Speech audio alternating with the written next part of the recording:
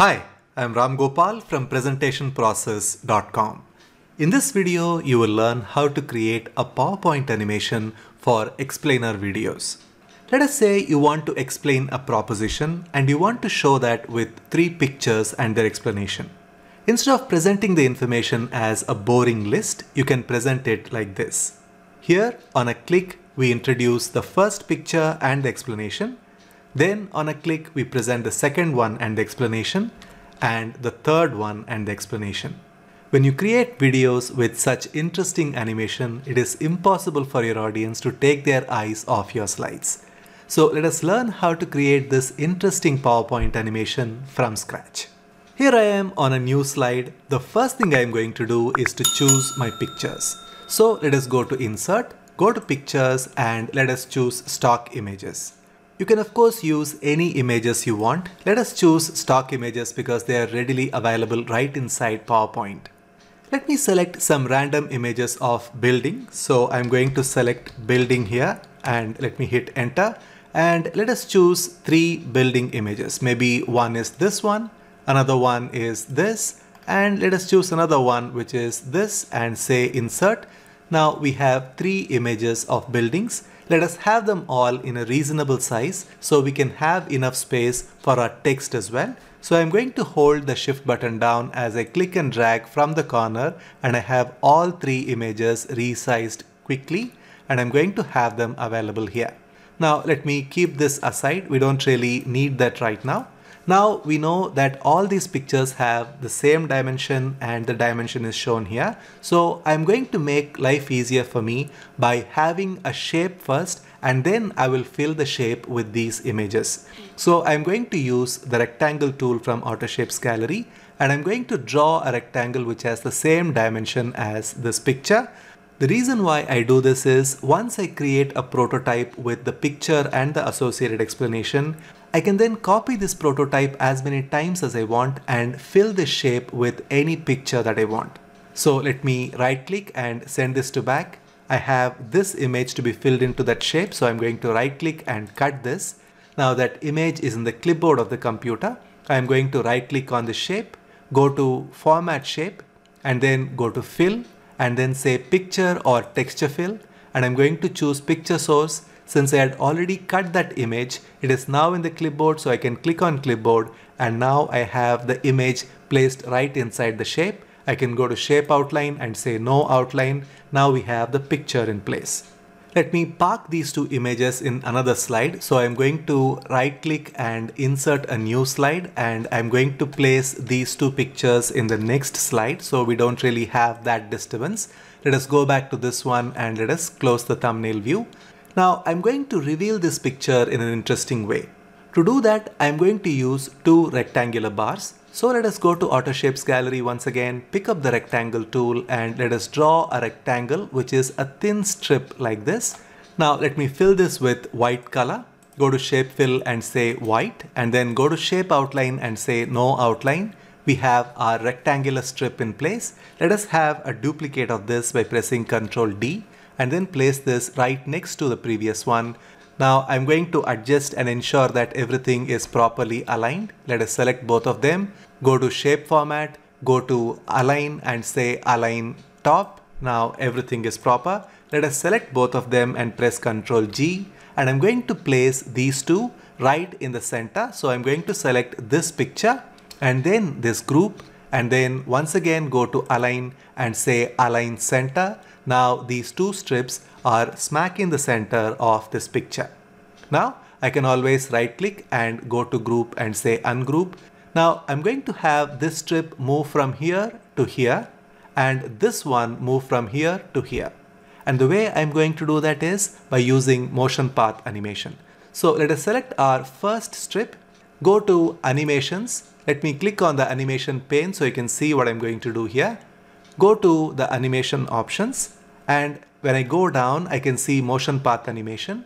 Let me click on lines and the direction of lines need to be to the left. So now you can see that that is the motion and we need to have the strip stop at this point. So let us go to the horizontal scroll bar and let us try to fix that. Here you can see that this is the end point. So let us click on that and let us hold the shift button down and then drag this strip so that it aligns with the left edge of the picture. Excellent. Now one strip is animated. Now let us select the second strip here. Then once again let us go to motion path animation and then we need to change the direction to right and then we are going to have the endpoint selected. Hold the shift button down and make sure that it is dragged in such a way that it corresponds with the right edge of the picture. Excellent. Now we have two of these motion path animations available. Let us have the second one and say with previous. Now I'm going to reduce the duration to one second. Now let us see how this animation plays when I go to slideshow. You can see on a click, we have two strips going to the edge of the picture. Now we have got one part of the animation done.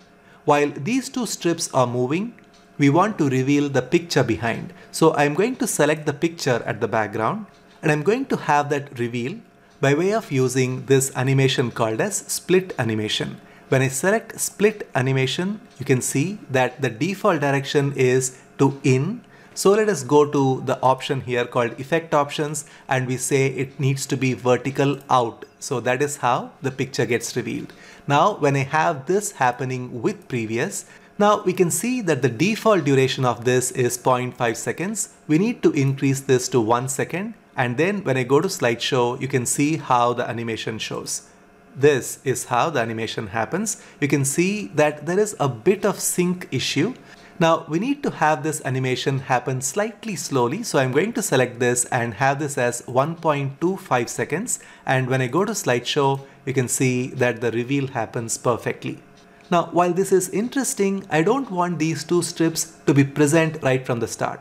I want to introduce these two strips into the scene and then let them animate to reveal the picture. So I'm going to select this strip on the left and then have it fly in and we need to have this as add animation because we already have an animation applied to this earlier. So let us go to add animation and let us have this fly in and it needs to fly in from top. So that is what we are going to do and it flies in from top.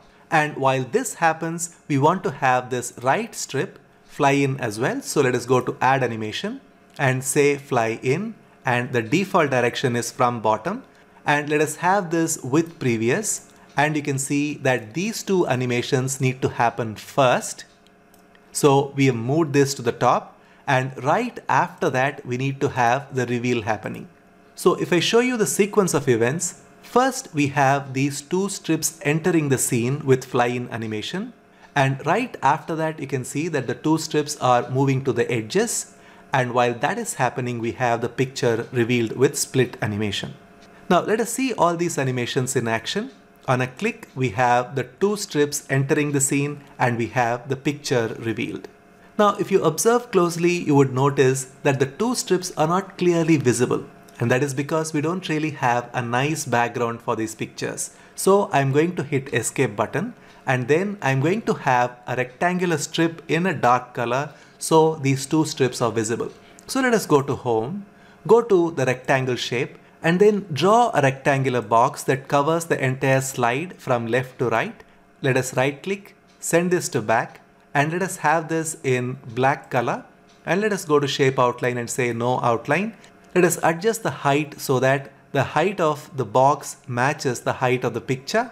Now this looks beautiful. Let us make some finer adjustments and then when I go to slideshow now on a click you can see that the two strips are clearly visible and then the reveal really looks very beautiful.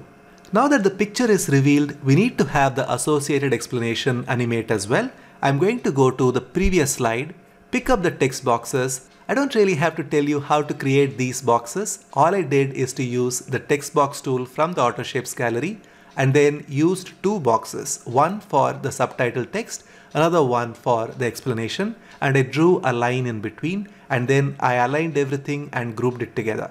It's a fairly simple thing to create. So instead of wasting your time teaching you how to do this simple thing, I'm just going to copy this element by pressing Ctrl C and then let me go to the new slide and press Ctrl V and I've got this right in place. Now with a bit of adjustment, I've got this box positioned properly. Now let us select this explanation, go to Animations tab, go to Wipe and let us have the direction from top and let us have this happen with previous. Now when I go to slideshow, you can see on a click we have the picture revealed and the explanation shown quite nicely. Now all we need to do is to make two more copies so we can have three pictures and their explanation. So I'm going to hit escape. I'm going to select all of this by moving my cursor across. Press Ctrl D to create a duplicate and I'm going to place this right next to the previous one and I'm going to hit Ctrl D again. Now we have got our three pictures and their explanation in place.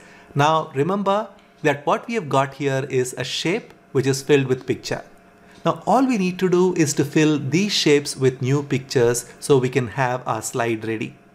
Now let me go to the next page where I had parked the pictures. I'm going to select this, right click and cut it. Now that picture is in the clipboard of the computer. Now I'm going to select this, right click and go to format picture. Go to fill and then say picture or texture fill, picture source and click on clipboard. Now the new picture replaces the existing picture. Let us do that again. Let us go to page down, select this, right click and hit cut and then go back here. Select this picture, go to fill, go to picture or texture fill, picture source and it is clipboard. Now we have our third picture replaced.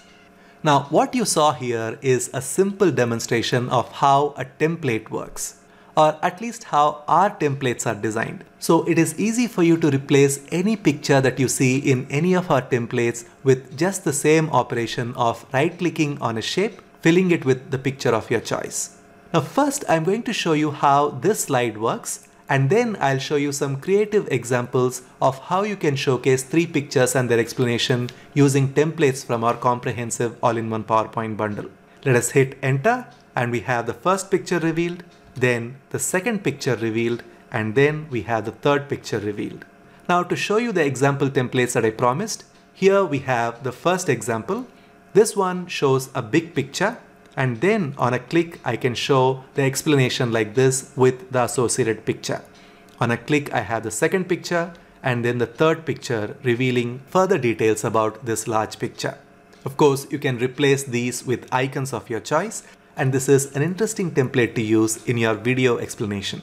Let us go to the next example. Here we show three photos with text with a different variation.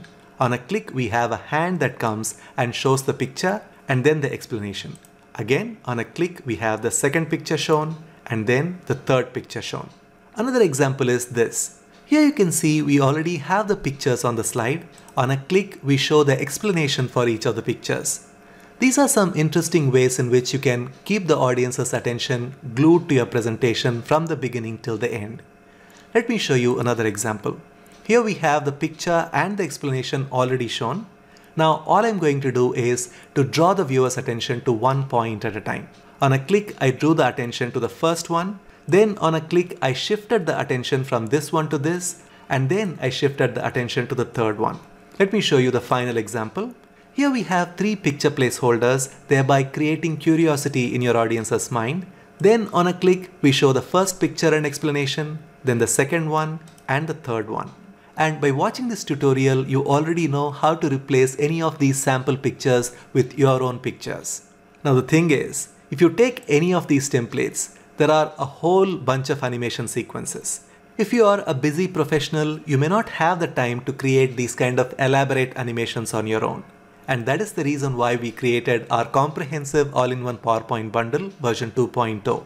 This bundle has a collection of more than 4200 professionally animated PowerPoint templates to make your presentations beautiful and engaging. Once you create a single presentation using the templates from this bundle, you will never want to go back to the old way of creating your presentations. I will leave a link to this useful product in the description box below the video. You can click on the link and check out more details about this product. You can come to this page, watch this video and see some examples of how the animation templates work and if you think that this is the right product for you, you can make a one-time purchase and use these templates for a lifetime. If you are a professional who needs to make presentations as part of your profession, then investing in comprehensive all-in-one PowerPoint bundle is definitely worth the money. Finally, as always, if you want to join our 25 Creative Ideas free PowerPoint mini training, you can click on the link here. If you like this video, please give this video a like, share it with your friends and leave a comment. Please also hit the subscribe button to join our 200,000 other subscribers who are taking their PowerPoint skills to the next level by watching our videos. To watch our latest PowerPoint video on presentation process channel, you can click on the link here. So go ahead and click on the link in the description box below the video and see how comprehensive all-in-one PowerPoint bundle can change the way you create your PowerPoint presentations forever. Thanks a lot for watching this video. I'll see you in the next one.